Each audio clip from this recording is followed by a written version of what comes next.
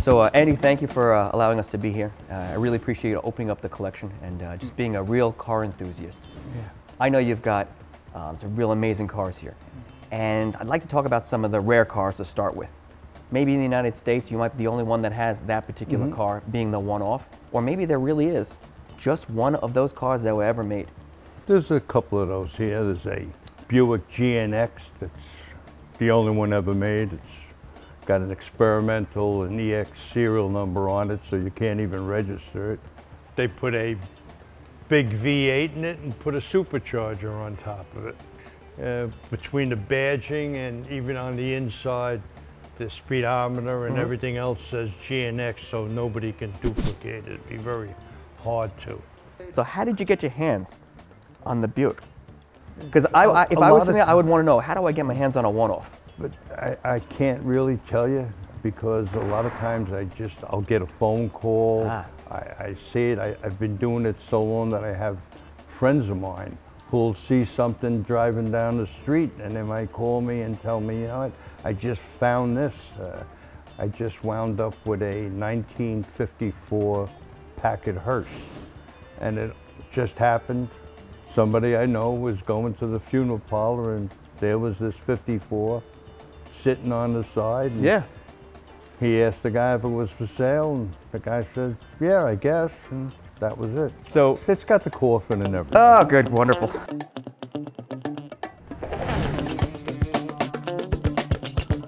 So what was what was the first car that you had that you kind of always wanted, you couldn't get your hands on, but you finally got and said, "My God, this is the start of my collection," or "This is the car I've always wanted."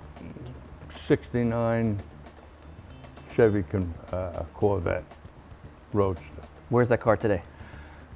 I sold it Okay, about a month and a half ago. I had it for 40 years.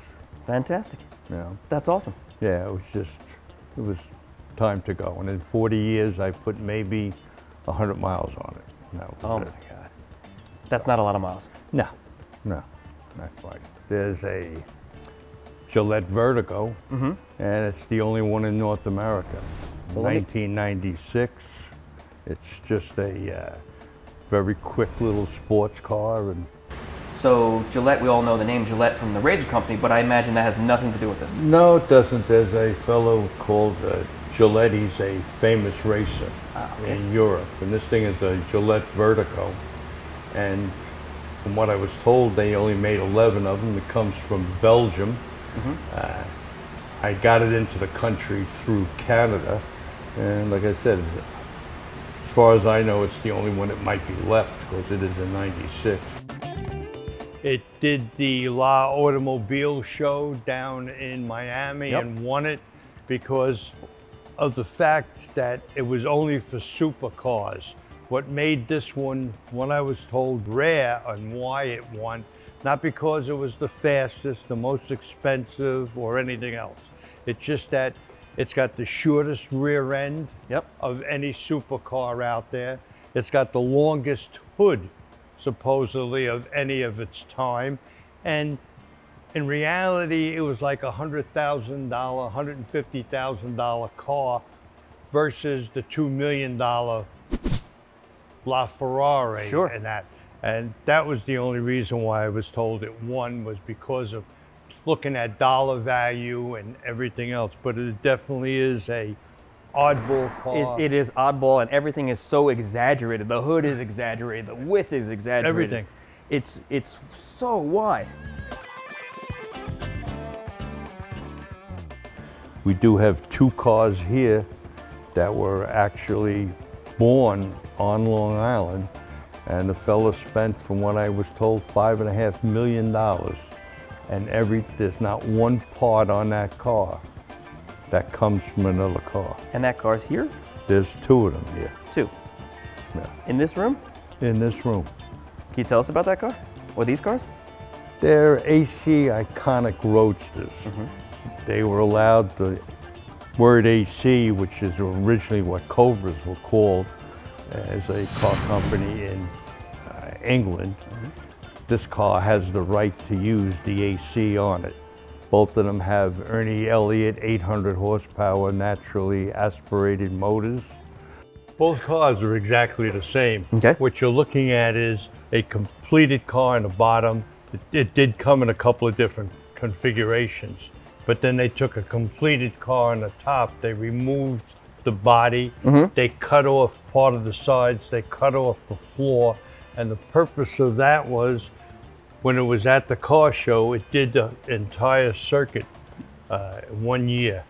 And the purpose was to say, well, this is the completed car. This is how it's built. This is how it looks underneath. Look how strong it is. Everything else. Look at the motor. You know, it's just look at this, look at that. There are no parts on this car that were taken from another car. Everything is just either titanium, uh, carbon fiber. That's the stuff we like. right. The one-offs. There are very, very few wires in the car. Okay. It is capable of 240 miles an hour. Uh, they're just, they really are a great car that will never get made.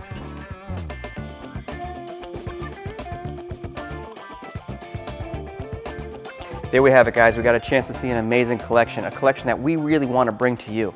It encompasses cars that we wouldn't normally find, such as the experimental Buick GNX truck.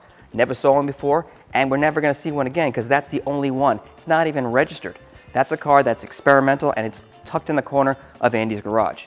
The other two cars that we got a chance to see were not one but two AC Iconics with 800 horsepower Ernie Elliott engines in them. This was a massive engine shoehorned in a very light vehicle, and you've got to be just nuts to drive. Maybe you're as nuts as the guy called Gillet, the Gillet Vertigo. The Gillet Vertigo was a car that I had never seen before, and after we got a chance to see it, I went back home and just did a little Google and got a chance to understand what that was all about. So, I mean, there's just amazing things to see when people open up their collections to us.